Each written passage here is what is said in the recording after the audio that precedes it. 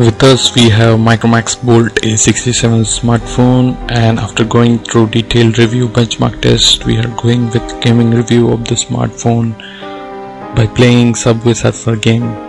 This phone comes with 512MB RAM and dual core processor good enough to play, play Subway Surfer sufficiently. We have just on this phone and uh, started Subway Surfer Rome World Tour.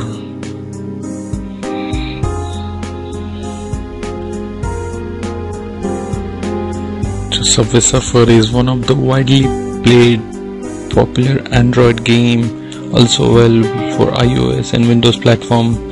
So let's get started playing this game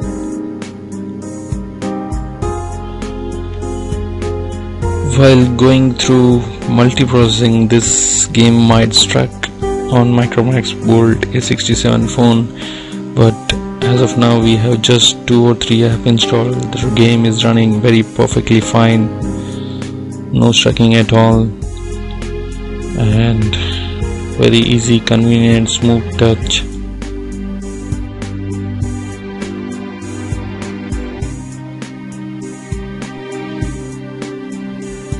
So if you want a smartphone to play the basic games like Subway Surfer and Temple Run, Micromax Bolt A67 can be a good choice.